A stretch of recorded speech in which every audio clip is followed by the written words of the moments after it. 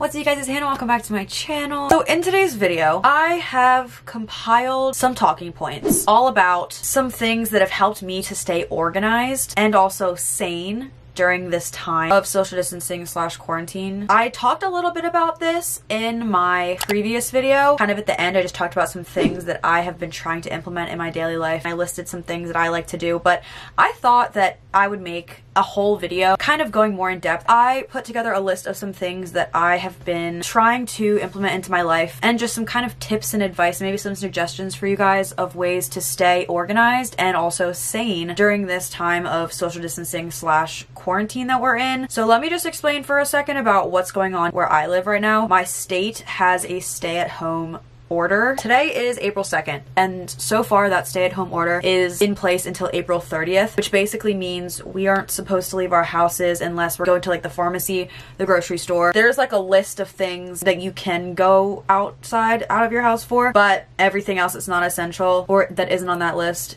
you should stay home. I know that there are a bunch of states now that are putting orders like that in place to try and slow the spread in addition to the social distancing that we are doing nationwide right now in the United States. As far as college, I talked about this in my last video as well, but my college has moved to online for the rest of the semester. I actually don't think, no, in my last video it was only supposed to be online until like mid-April and then they were going to reevaluate, but we got an email the other day saying that our school is going to be online for the rest of the semester, so I am a proud student student of Zoom University right now, as is everybody else that I know. Basically, that's just kind of the background of what's going on for me right now. So what I'm going to be telling you guys, like these tips and stuff, these are what I'm going to be doing every day until we're no longer staying at home basically. I wrote a whole list, try to make it look cute. It's actually several pages long.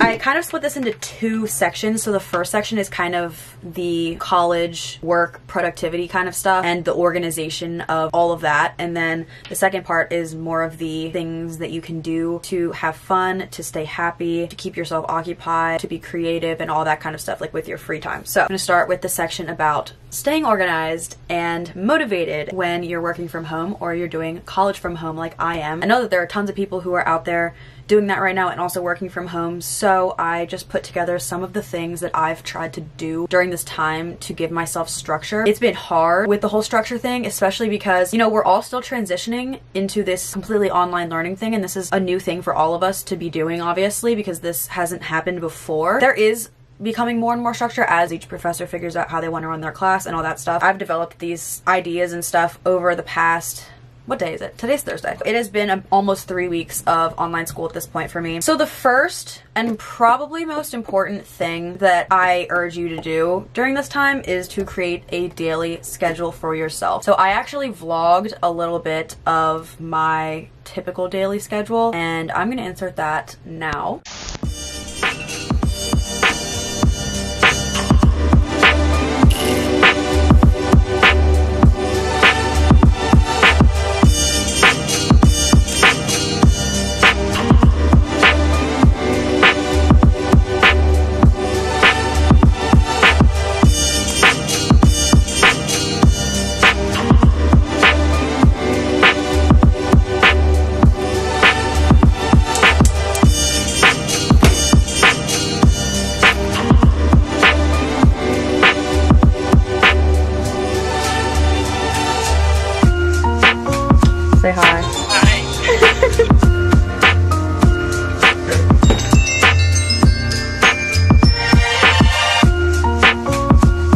Kind of a generic guideline that I like to go off of for every day. Obviously, the times of things will change because I have different classes at different times on different days, but that's just kind of the format that I try to follow. I like to do everything that is school related in the morning because I like to get that stuff done so that the rest of the day I can have for doing stuff for me. I always get up early. I mean, 8 for me is I mean it's like relatively early I guess for some people that people are probably like that's not early at all and then for some other people they're like that's ridiculously early but I like to get up at that time because I feel like the longer that I sleep in, the less productive I feel for the rest of the day. Like if I'm waking up early, I will be able to get like the productivity and whatever flowing early and that's always a good thing for me personally. And it's also helped me obviously to give myself structure, which has been something that I feel like has been difficult since transitioning from going physically to class to doing it all online from my house. I think that it's just about you have to create that structure for yourself. Like the professors are trying as best as they can to give us structure for our assignments and stuff, but they also have their own lives that they need to manage and all that. So it's up to me to be responsible and manage my time wisely and chunk out my day and just create my own schedule because I know that if I do that, then it will make me feel better and I'll be able to keep up with my work. So that's my first and probably the most important tip. Make a schedule for your day. Moving on. Number two, plan out your week. If you'll see right here, I have a little sheet that has all of the things I need to do for the entire week broken up into days. I do this at the beginning of the week. Typically on Monday, I will sit down and I will go through my assignments for school and I will go through stuff that I need to do for YouTube or just literally anything else that I have going on in the week. And I will write down when things are due and I will also write down when I need to do them. I'm giving myself so much direction. Like it's going to be hard for me to get up. That's that's what I want. I want it to be so crystal clear what is due and what I have to do by when to make sure that everything is on time and to make sure that I'm keeping up with my work. Because if I don't do this, then I will literally not know when my is due and I will also feel less motivated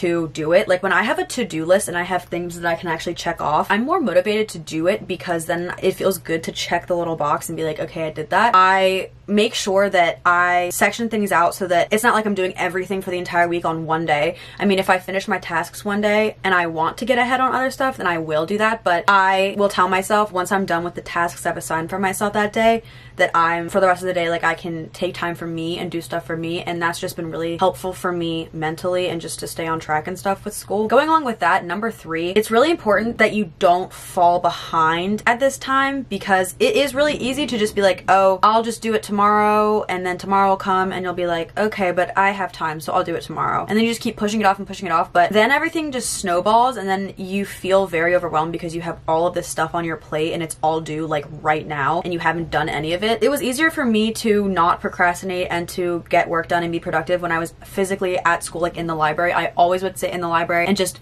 get done so much work and I would feel so good. But at home, it's so much harder because I'm in my room, first of all. I'm like, I could just go take a nap, like I could just eat a snack, I could watch YouTube videos, I could do whatever. But it's important to stay on top of your work because if you're keeping up with it, it won't feel like you have as much work. But if you push everything off so that you have to do all of it at once, it's gonna feel like you have the most work in the entire world and it's absolutely impossible to get through all of it. My tip number four is to do work somewhere other than your bed. I just feel like my productivity is not the best when I am laying in bed trying to do my work. But I have this little area of my room that I have kind of turned into my office space. This desk that I have used to be my brother's. He doesn't use it anymore, so I took it out of his room. Being in a different space than my bed, it just makes me feel more productive, especially at my desk because this is the place where I kind of feel like I'm supposed to be productive and I have like all of my books and my notes and this is where I do my editing and all of my work happens here. So just being able to kind of section off your room since I mentioned this a bunch in my last video, but at this point, my room is serving as my bedroom, my office, my classroom, and kind of like my hangout recreational space. Like it's it's all of that. So being able to section off your room to kind of give each section that you can come up with different tasks associated with it for like different times of the day, that's that's helpful too. Number five, celebrate little victories. I try to tell myself this all the time. I keep saying I talked about this in my last video. But I talked about this in my past couple videos actually about how this whole transition has been affecting me mentally and for the first couple weeks it really was not great. It's very easy to get down on yourself because I'm such a perfectionist and I'm used to being able to perform like at a high level in school and in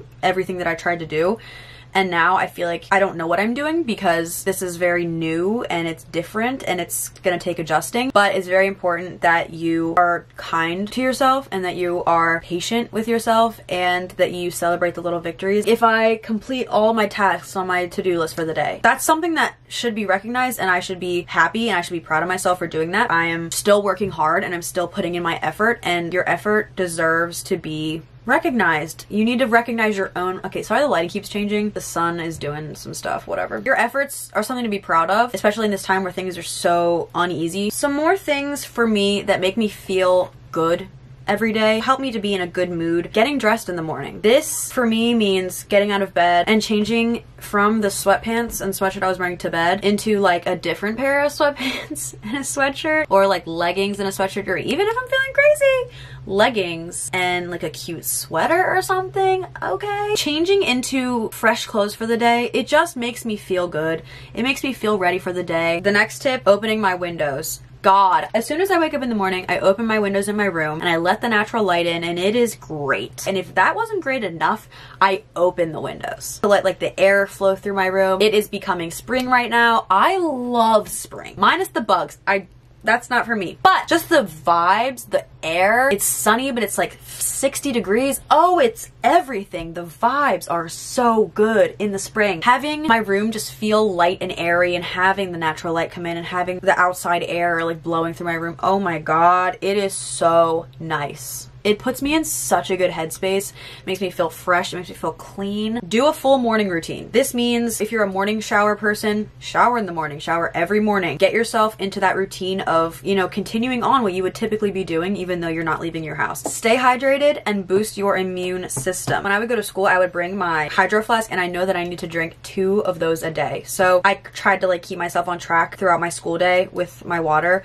But I've realized when I'm at home, it's different and it's more difficult to kind of keep track of how much water I'm drinking and I feel like sometimes I just forget to drink water throughout the day but staying hydrated is so good for physical health for your mental health. I, it's great. Also I have been well I've been taking vitamin C every day for it's been since at least the end of 2019 like it's been a while. The other day I ordered this vitamin C powder on Amazon because my aunt told my mom that like the powder is better and now I take a quarter of a teaspoon of that which a quarter of a teaspoon is a thousand milligrams is crazy. I'll have it linked down below. If I'm mentioning anything throughout this video, I'll try and link as much down below as I can for you guys to help you out. But I ordered this powder, taking it twice a day every day and then working up to three times a day every day. Very, very important to keep your immune system healthy at this time, especially, and just all the time, honestly. I recommend taking some form of vitamin C supplement every single day year round because having a good immune system and a strong immune system is never a bad thing. Another supplement that is popular for your immune system is zinc. I used to take zinc every day and then I ran out and then I tried to get more just a couple weeks ago and there was just none at the store. So I'll have to look into that because I want to start taking that too. So that's it for that. I don't know why I wrote a whole thing for this, but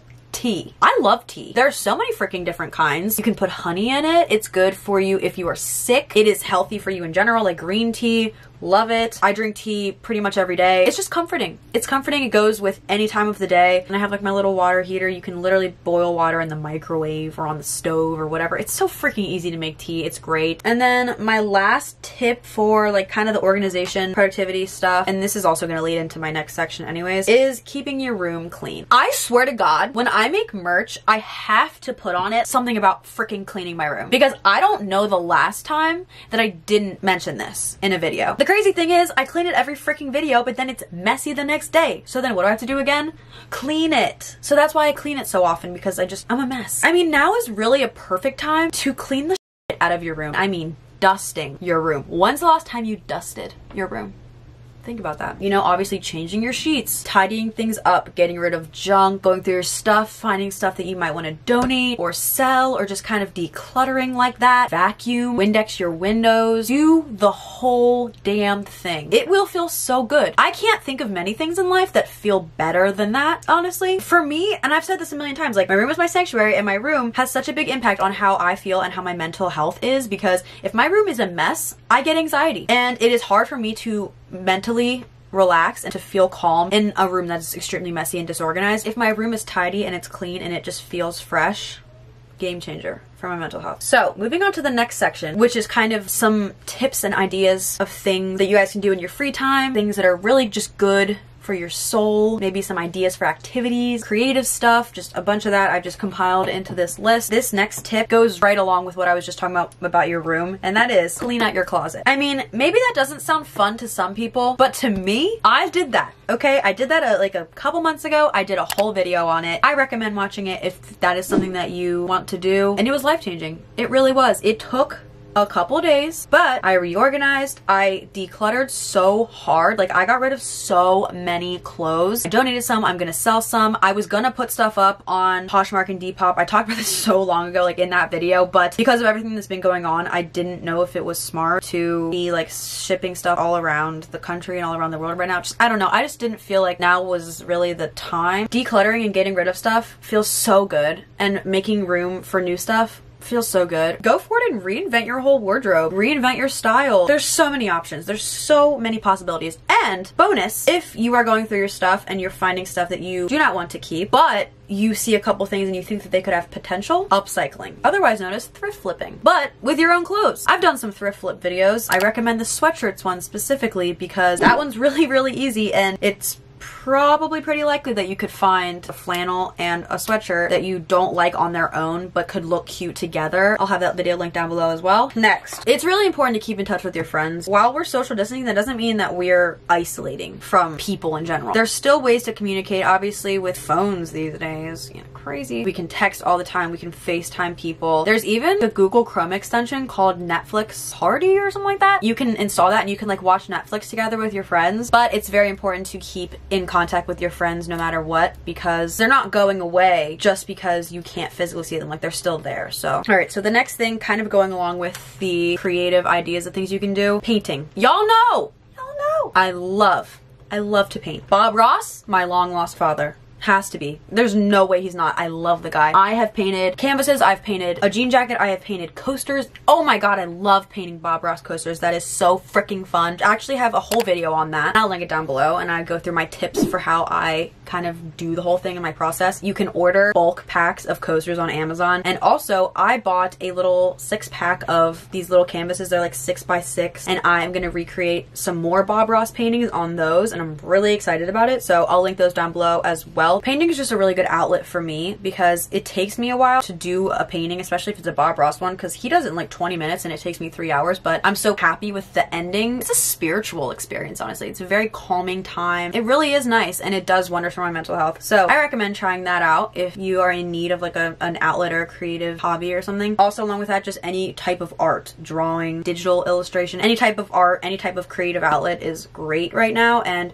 this is a great time to learn new things. Like if you want to learn how to draw or learn how to paint, what better time, honestly? And you can come out of this with a lot of art that you've made and some new hobbies. This is something that I've really wanted to get back into because I used to love reading. But reading. My favorite book thanks for asking, is called The Subtle Art of Not Giving a I love it. I read that book in high school. It did wonders for me. It really has changed how I look at the world. I am looking for more book recommendations because I really want to get back into reading. So if you guys have any books that you recommend, it could really be anything. Kind of been wanting to read like a true crime or like a mystery type of thing. So if you guys have any book recommendations, please leave them down below. Next, this is a big one. Playing games. Could be by yourself, could be with your friends, playing video games, playing Animal Crossing, y'all already know. Playing games with your family, board games, game night. Oh my god, family game night hits so different. Getting a pizza pizza, watching a movie, playing games together. It is everything. It's good bonding time. Going kind of along with the same category, puzzle books. The Sudokus and the word searches and the crosswords and whatnot. I just ordered some of those on Amazon. And then also puzzles themselves. What a time to be alive. I love puzzles. I don't know, it's just so much fun for me and I like to do puzzles with my mom. This one's a given. Binging movies or TV shows, specifically on Netflix. I'm always looking for new series to binge on Netflix and new movies to watch. My mom and I have watched a bunch of series together. We watched Grey's Anatomy together. We watched Friday Night Lights together. I love that. We watched The Vampire Diaries and the originals. I would highly recommend both of those by the way. They're incredible. Some other series I love, Scandal, You, Stranger Things. I love docu-series too. Any any docu-series really, I love them. So any of those like Cheer, Love is Blind. That's like a reality dating little series. It's everything. I love it. Gossip Girl. I think I've seen that five times. I'm on number six right now. I restarted it. I also restarted The Vampire Diaries. All American, incredible. Those are just a few off of the top of my head. That's always a fun time. And also doing it like with a family member, binging a series together or getting into a movie together or a show together. It's just, it's a, it's a fun time. Find new music. Music is the key to my soul. Music is everything. If I didn't have music, I don't know what the hell I would have done in life at all. It truly is my escape from the entire world and everything around me. The range, not to brag or anything, but the range of music that I enjoy and that I listen to on a regular basis is, it's a lot, okay?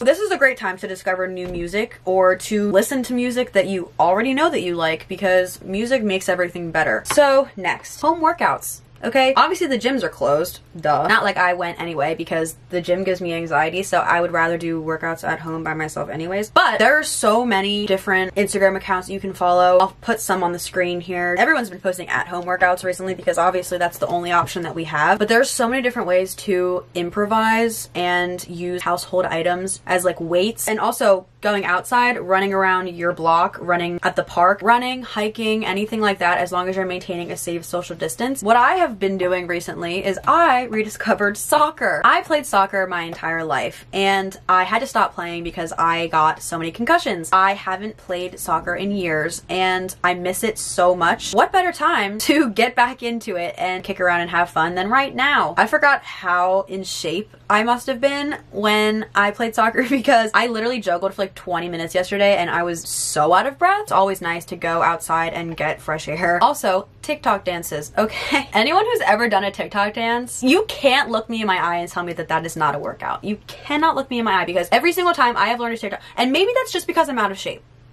now that I'm thinking, maybe it's just because I'm out of shape that I exert so much energy while I'm doing TikTok dances and I sweat profusely. What I've found is that they're an excellent way to work out. Good cardio. You know what I mean? Give it a try. Even if you don't post any of the dances, it's still fun to learn them. Just some other random things that I wrote down. Cooking, baking. People I'm doing a lot of that. Getting creative with photo shoots if you're into that. I mean, if we're just kind of stuck in our houses, it's not like we have a great variety of locations and different backgrounds, but there's so many different ways that you can make backgrounds or make locations look really cool. There's so much out there on Pinterest. I'm sure there's like YouTube videos about it, honestly. So just get creative with that kind of stuff if you like photography, practicing stuff, anything. Makeup. If you want to practice makeup and get really good at it during this time, have a ball. Learn an instrument if you have one at your house. I have an organ at my house because it used to be my grandparents and then they gave it to us. So I tried to teach myself how to play. Start a YouTube channel. What better time? Start a business, you know? Pursue things that you wanted to do before, but were kind of just pushing off because you felt like you didn't have the time or whatever. Like, this is the perfect time to do any of that stuff. So take this as an opportunity. Let me finish off with this, okay? My last point was that it's all about your mindset. At the beginning of this whole social distancing, quarantine, stay at home, whatever you would even call it at this point, for me, it was so hard mentally because I was looking at the long run. Like, I was looking so far into the future and being like, oh my God, it's gonna be months. And then just thinking about how long a month really really is. But then I kind of trained myself to think of it day by day. That is really all that we can do at this point. It's the only thing that I found that has helped me. I have to take it just one day at a time. It's about training your mind to look at things differently and look at the situation differently. Break it down. I mean, even if days are too big of a time period for you to look at, look at hour by hour, minute by minute. However it works for you to get through this time. Each day is its own day and it's its own opportunity and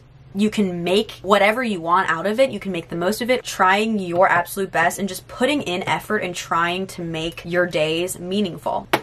That's all I have. To summarize the whole video, it's about your mindset. There are so many things right now that we cannot control in the world, but the one thing that we can control is our mindset. I'm gonna end on that little piece, little tidbit of knowledge. Aristotle has been real quiet. I'm not even gonna lie. That's it. That's all I have for you guys today. Thank you guys so much for watching. I hope you liked it. If you did, make sure to give it a thumbs up. If you've stayed until this point in the video, comment down below. I'm a real one because you are a real one. If you want to see more videos from me, make sure you hit the subscribe button. I post a new video every single Sunday. And if you forget that I post a new video every single Sunday, or if I can't post at my normal time, which is 3 p.m. Eastern, then make sure to turn on my post notifications so that you get notified right when I post a new video. So yeah, I hope you guys all have a wonderful rest of your day. So yeah, I hope you guys all have a wonderful rest of your day. Hang in there, stay strong, stay healthy, stay sane, stay organized, and I'll see you guys in my next video. Bye. We'll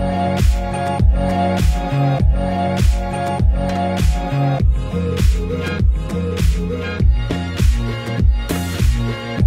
back.